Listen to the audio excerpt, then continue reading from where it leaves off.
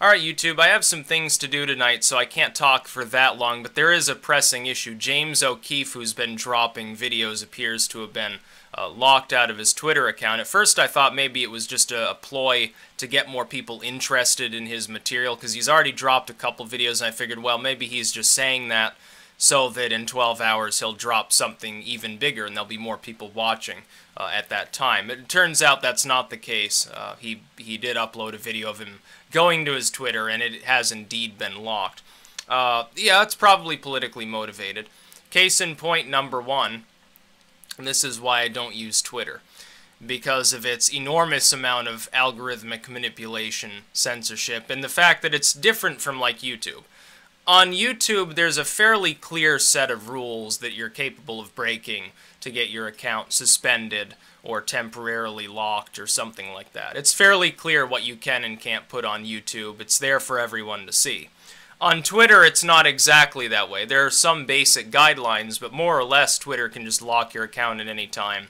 They don't even give a damn, and they don't even try to hide it. Number two, it's probably, if this is political, it's about the most useless gesture that you could possibly think of because now somebody who prior was, you know, probably not known to most people who transverse the internet unless they're very politically aware um, and keeping up specifically with Clinton's scandals. Now a whole new set of people potentially see, because it's being actually reported on by other sites, oh yeah, he's been dropping scandalous videos about the Democrats and he just, you know, Twitter just uh, decided to go after him. So good good job to Twitter, I guess, in actually increasing awareness of the material that he's dropping well beyond his normal scope. It's actually helpful for him in the long run. Twitter, uh, I, the, here's another level of overlap between the legacy media and like uh, the new wave of social media. Uh, the the tech giants included to some extent. Depends on the tech giant. The corporations and so forth haven't yet caught on to the fact that when they try to shut somebody down for saying something they don't like, on social media, typically it makes them stronger if they've got any audience at all. Because then they can turn around, they could say, oh, well, I must be doing something right because behold, Walmart shut me down, YouTube shut me down, Twitter, you know, suspended my account or something like that. Look at look at Milo. His uh, Twitter gets uh, taken down. Is he any worse for the wear as a result of this? The answer is no. He's more well known now than he was beforehand because people saw the story about his Twitter being taken down. And all of a sudden, there were a hundred fucking news stories about that. It's the way that it works on social media. They don't seem to realize that uh, leaving somebody alone is really the only way to slow their growth.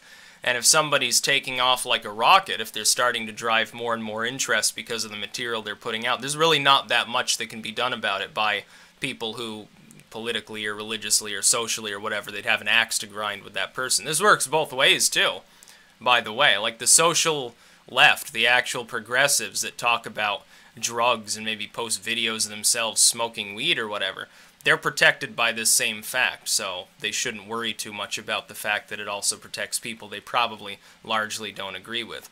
Uh, so, yeah, I mean, he's locked out for a while. When he should be in bed by this hour anyway. You go to bed, young man. You can drop your video tomorrow. I don't know what time zone he's in, so I don't know. Maybe it's like 1 a.m. there for all I know. But yeah, it's not going to stop it. If if his Twitter were totally removed, what would he do? Make a new Twitter. Use he's got two YouTube. They've got two YouTube channels for Project Veritas. Uh, they they're obviously in communication with people that have even larger audiences. So would it stop anybody? No. I'd be glad to spread that material myself too. Uh, because it deserves to be seen. He's already dropped two videos. People who said, oh, well, he might be, maybe he's just an attention whore or something, and he doesn't have anything. Well, he's already been leaking material. Granted, it's not nationally destabilizing to the whole uh, Hillary campaign, but that was by design. He himself remarked, yeah, these are going to be regional hits, which is what they are. And then next week you get the big one. Uh, so yeah, I'll be back on Twitter. It's not going to stop him. It's just like uh, an account suspension or whatever. It's not going to stop me. It's not going to stop anyone else. By the way, YouTube's just about the least censored of the social media sites. I actually have no problem. Like when people talk about something YouTube does, uh, and it's a problem to them, like it stifles creativity or something, I say, well, I generally feel pretty comfortable with YouTube because I look at my content, I compare it with someone like Brother Nathaniel or something like that who's been on there for years and never gotten taken down. Yeah, I don't think I have much to worry about. Um, or some some of the BLM folks and the stuff that they post, or you know a KKK YouTube page. Um, YouTube, generally speaking, does not go after if you're posting like porn.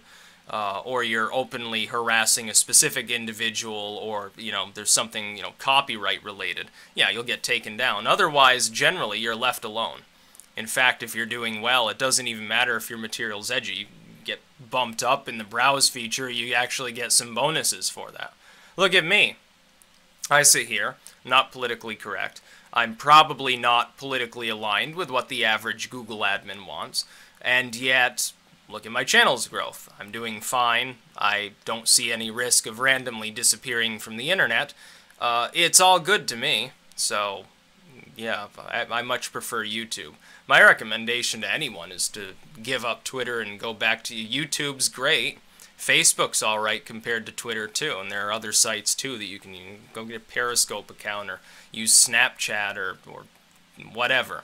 Talk to people on Tinder, you know, dating site or whatever. It's all better than Twitter. Twitter's the least among them.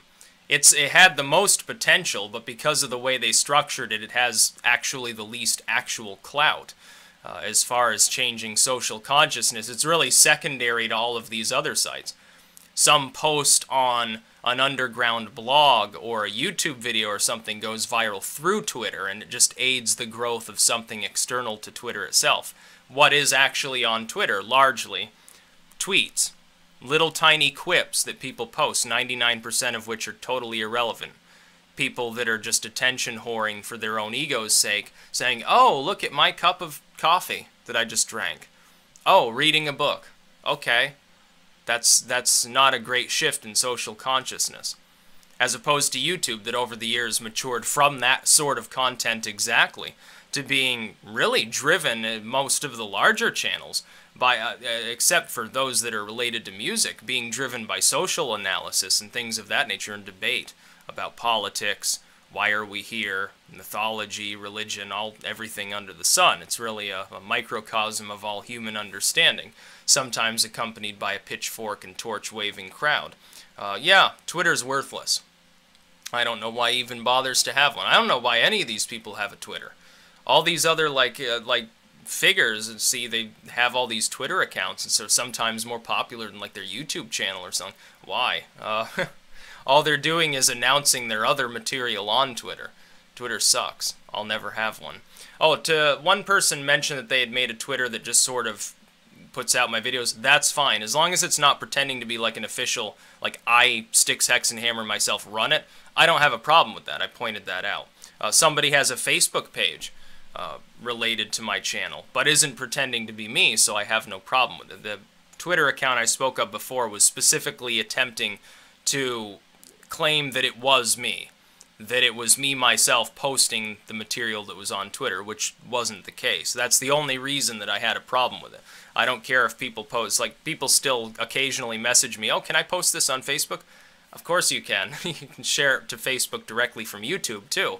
Uh, you don't need my permission for that. Um, unless you intend to take my work and make a derivative work from it, like edit it, cut it apart or something. And if it's all in good fun, like if it's, you know, even trolling for the most part. I generally find it funny. Somebody does make remixes of uh, things that I say. I find them hilarious. Dogma used to do that many years ago. Uh, there might be two or three people on this channel who still remember who Dogma 20F was. Uh, those were some weird but good times. That's about all. Peace out.